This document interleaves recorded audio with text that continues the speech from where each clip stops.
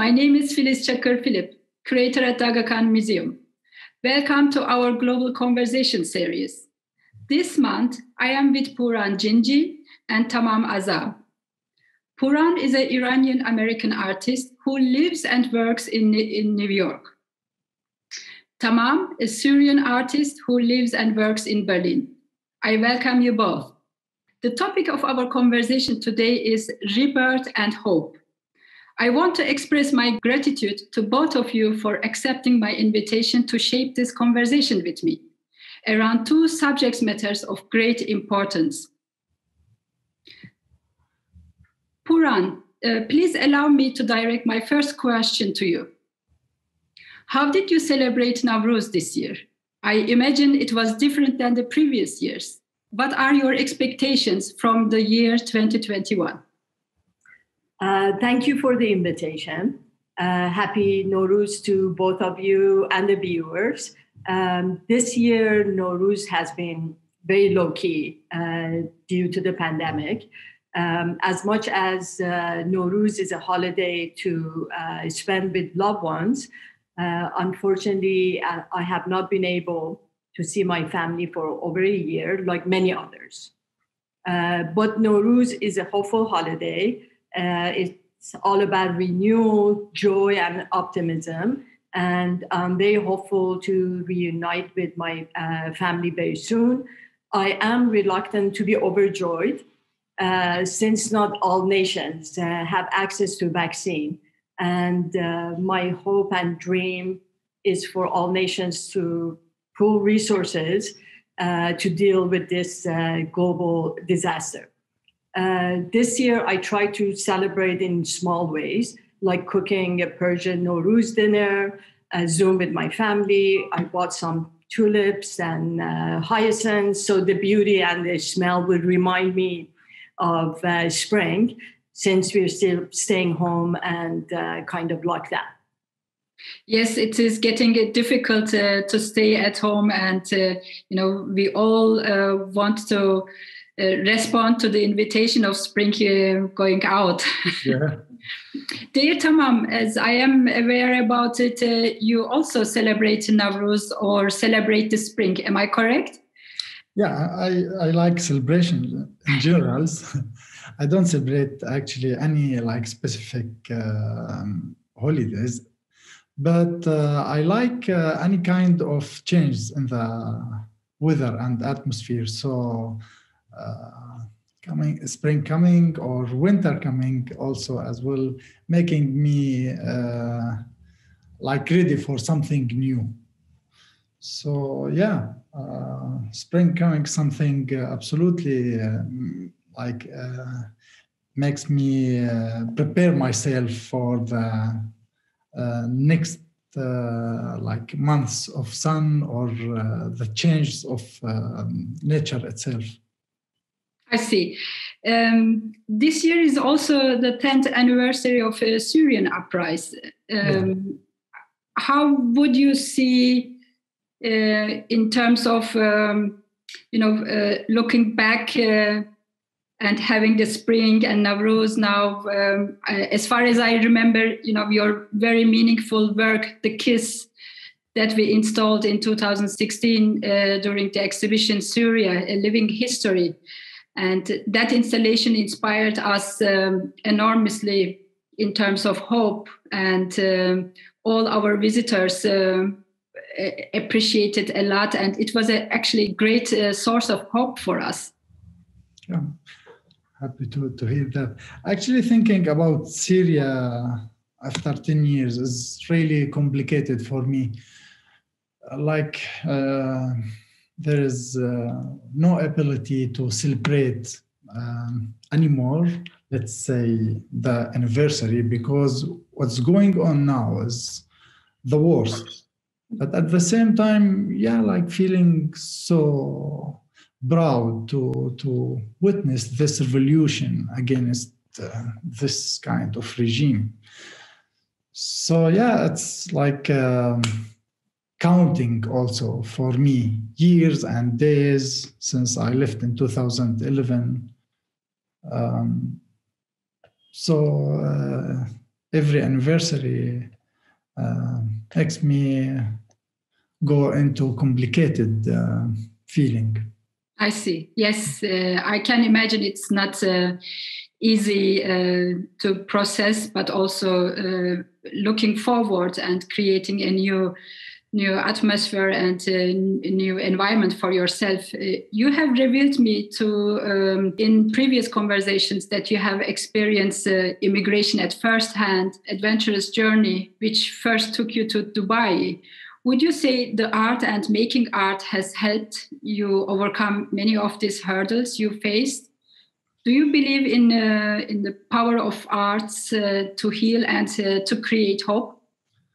Uh, I believe in art at, at the first step. I, I, am not sure about the effects of art uh, on others because it's uh, different from uh, like uh, everyone to another one. It's some people absolutely affected with art or uh, with part of like art, and they change their lives. For me art and life is like something mixture together because it's my daily uh, attitude and like my uh, my whole time is going into art. So for me it's not just healing but also processing life uh, moving from place to place uh, absolutely depends on on the career itself and how to how to go further into it.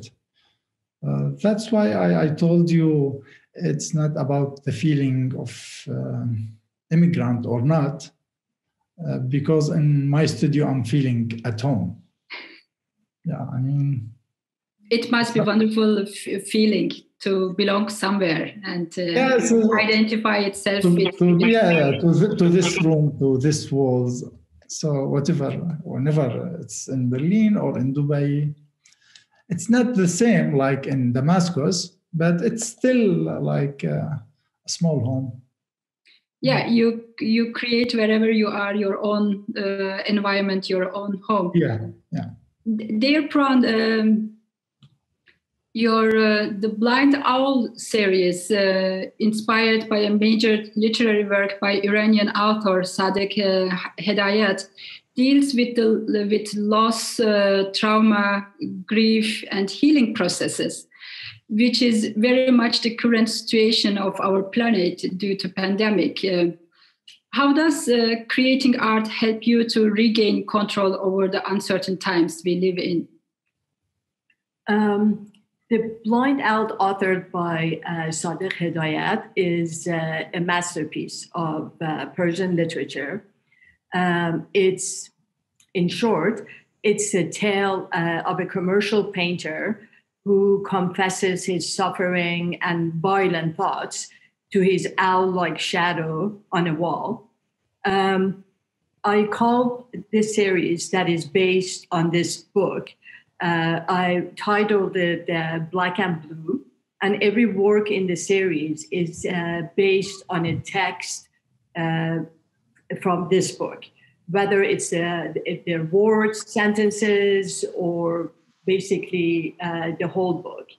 Um, as I read and reread this book many times over, I noticed so many words in the book that de- depict pain and violence. Uh, so I started giving titles to individual uh, works like wound, bruise, slashed, hacked, and so on.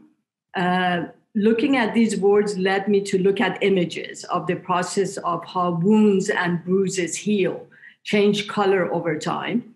Um, and it led me to basically pick my palette, material, and concept uh, to portray the pain and uh, the pain and violence and the process of healing as much as a formal language convey the barbaric but the notion of uh, healing is a consolation and hope. That process of healing to me is consolation of hope. Uh, we live in, at a time with uh, so many global challenges.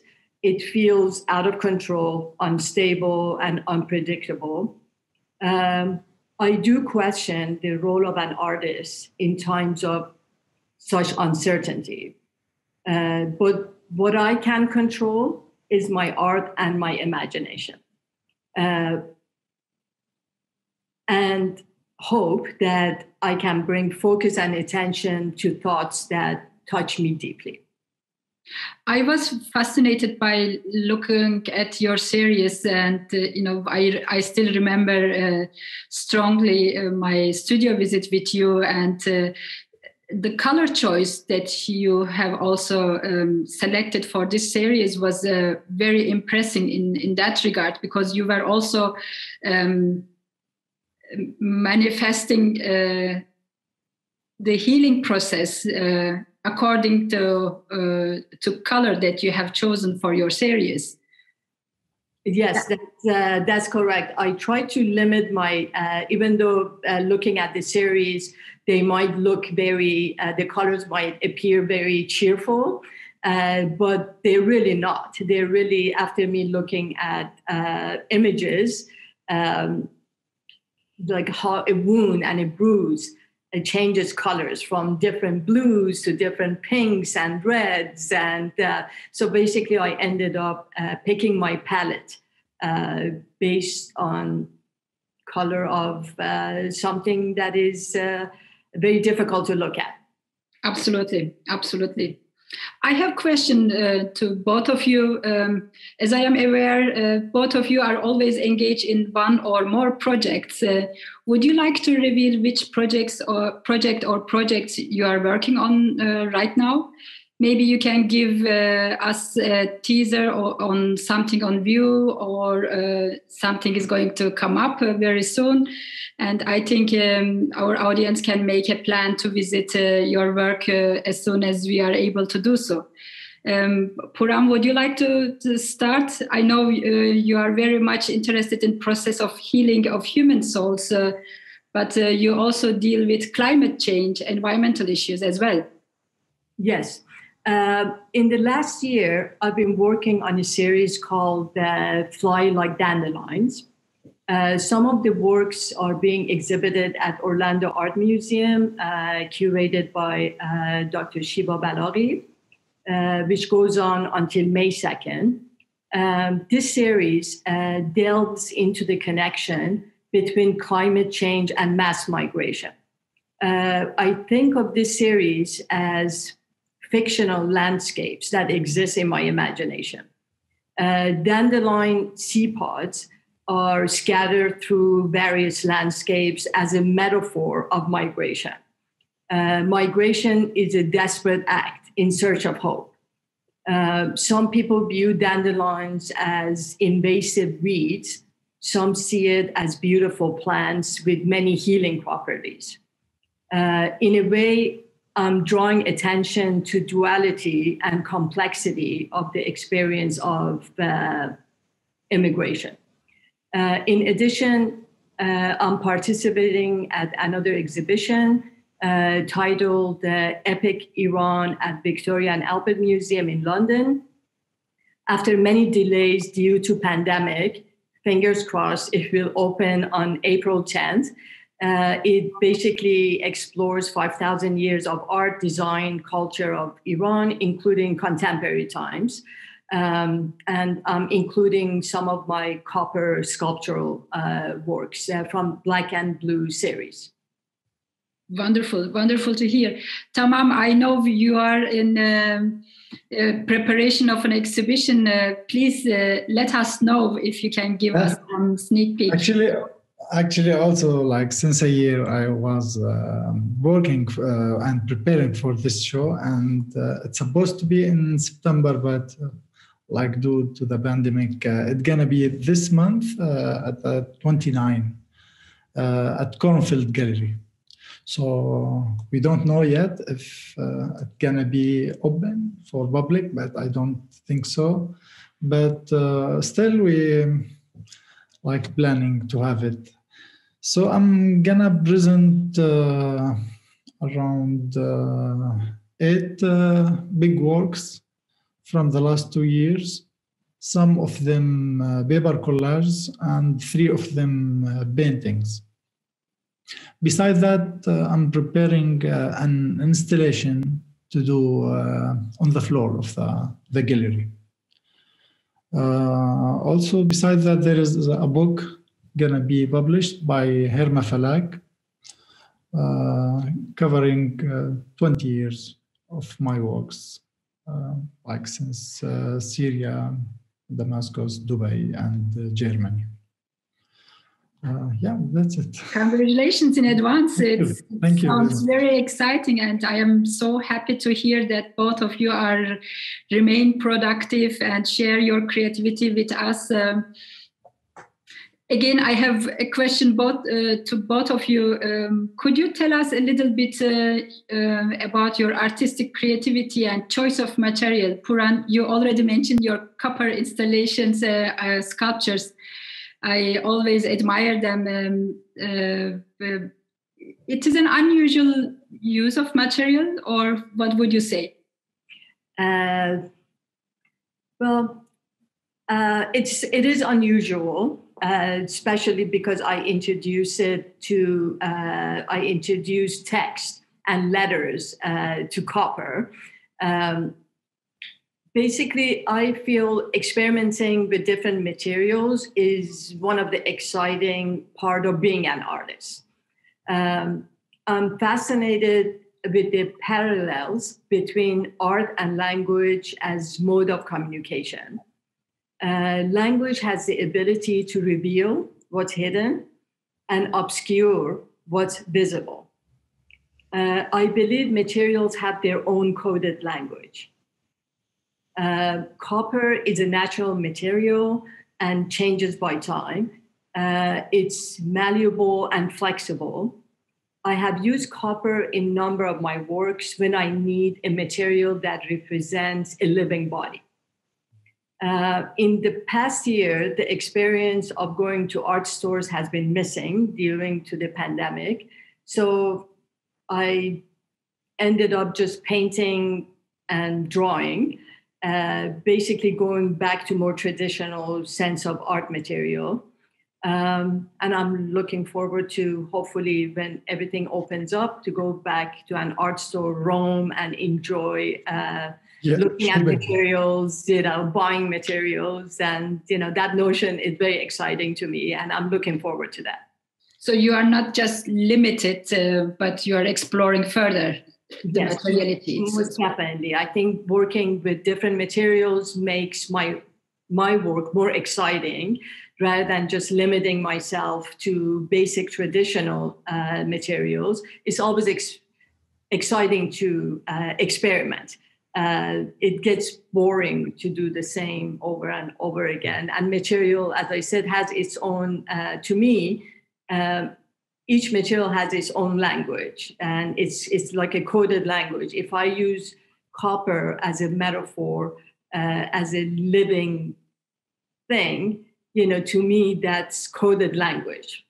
Absolutely. And um, I think it's also interesting because uh, you can monitor and explore uh, throughout the time uh, the patina that is going to be built on, on the surface of copper.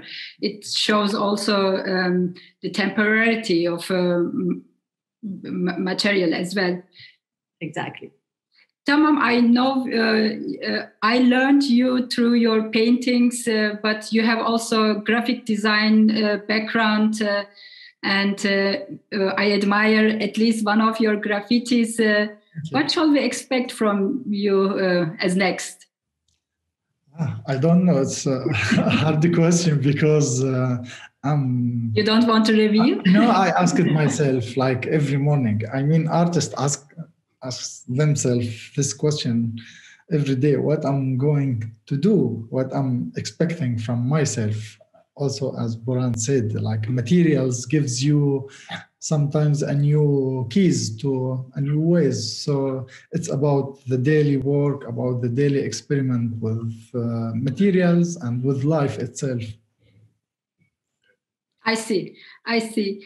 Um, you know um, I should have mentioned it earlier, maybe at the beginning of this conversation, but uh, through this uh, global conversation series, we also try to bring uh, uh people they didn't know each other in advance, and uh, I know. Uh, through our preparations, it is first time Tammam that you see and you are aware about the works of Pouran and Pouran. It is the same for you. Is there is there any question you want to address to each other? How do you like Berlin? Actually, I, I, like. I can say. I like. I like it. Um, uh, like it's kind uh, of giving me the feeling of home, and uh, it's uh, good enough for artists to to feel this because uh, it's important uh, to go to a place where you like to go through the, the roads and the gardens or, and uh, it's like source of the colors in my new works hmm. now i have another question. Yeah. Um, do you feel that your concept of home has changed? Um, and do, do you feel like home now perhaps feels to you wherever you're welcomed? It is. It is. It's the truth about the home. But uh, yeah, the whole concept of home has been changed totally through traveling and uh, knowing uh, like uh, new people or uh, meeting new education or cultures but still you you like you keep uh, the home feeling inside you. So it's not about syria or where you like came from but it's about the, the memory about uh, air or light you like uh, we're familiar with. Yes. Sometimes it's also a smell. Yeah yeah. Smells remind you of uh, so many uh, moments there's a Turkish saying, um, "Where you earn your bread is your home," mm. and uh, of course, it has a very um, economical perspective uh, explanation when looking at this uh, um, metaphor. But on the other hand, you know, it's also a very creative process because you are creating uh, your new environment. You name a new place as your home and uh, so you carry your ho- home in your heart as you said tammam and then you implemented it somewhere which you didn't imagine to to do so uh, pouran um, uh, uh, t- talking about immigration and uh, living in different spaces uh, I, I assume you would consider you are you are a New Yorker artist. Uh, I'm sorry. I'm what kind what kind of artist? Sorry. The New Yorker. New Yorker, yes, most definitely. I've been in New York since uh, early 90s. Uh, and prior to that, I uh, went to school in Washington, D.C., lived in Los Angeles for many years prior to moving to uh, New York. And uh, what I liked about New York, uh, I, even though it's a very tough city, very expensive, tough city, and what I loved about it this city embraces everyone. And people don't really care where you come from what they care about uh, who you are uh, what your dreams are how you go about achieving your dreams. Um, and to me that was very special. That's something that perhaps i didn't even experience back home. And so that's the reason i've always loved living in new york I see. And uh, you already mentioned um, that I I might be using now the wrong term. You know, calligraphy is important, or letters are important for your artistic creation, and uh, but you still use the Persian letters uh, in your contemporary artworks. Mm-hmm. What is the relation to that? How you cope? Uh, you know, uh, obviously the Persian letters are. Uh, um, the reminder of your own culture or, uh, or Iran, but you are putting them in, in a new context. Uh, most definitely. I, I, grew up uh, basically, I uh, I learned and was taught calligraphy growing up in Iran. Uh, and as I was exploring my art, uh, experimenting with different art forms um, in the United States, trying to find my own style, um, doing calligraphy basically became the the most natural for me to do my art form. But just doing calligraphy was not enough for me to follow the tradition. Um, and I know in um, in today's world, no one really think of calligraphy as a high art form, or they might some people might find it highly decorative. Uh, but what gives me excitement and what challenges me how I can still take this art form and apply it in ways that makes it uh, exciting. And that's something that comes from my heritage. And uh, when Tammam was working, uh, talking about uh, the smell of home and some memories, that's something that is always going to be part of me. And using calligraphy in my art form is something that is me and i'm bringing uh, into my art and hopefully bring it add something you know culturally. I see.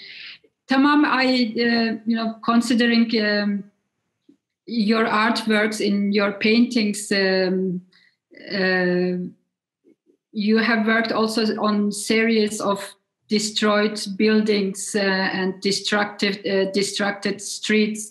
How important um, the architecture in in your works? Yeah when i did the, the Storeys series so it's about the body of the buildings. How like uh, it remains like stand but broken uh, full of memories but uh, abundant like nobody there. So this kind of um, the, of, of the shape of the building like make it uh, more human. And uh, it's the the subject in, in, in, the work itself. It's the building. It's the like uh, did you use architecture as replacement of human body you say uh, not as a re- replacement but as the storyteller yeah of the human bodies. Hmm. I was so uh, amazed when looking at your paintings, uh, Storeys, uh, series. Uh, I couldn't find any street names. You know, they they were so global. They were so approach uh, internationally approachable. You know, everyone, of course, saying, "Oh, this is a destructed, destroyed city uh, street uh, from Homs or from Damascus. But I was say, thinking, you know, I didn't see any Arabic uh, uh signage. Uh, I didn't see any street names, and then I could I could imagine. You know, it, it can be everywhere, uh, anywhere, and it, it could be in Europe, it could be in America. So I didn't have any a clue or lead from you as artists. I am really looking at a destroyed city of syria so to speak. Uh, actually talking about feeling of a human being it's absolutely something uh, global not uh, belonging any country. So destruction uh, or uh, immigration it's not a syrian topic.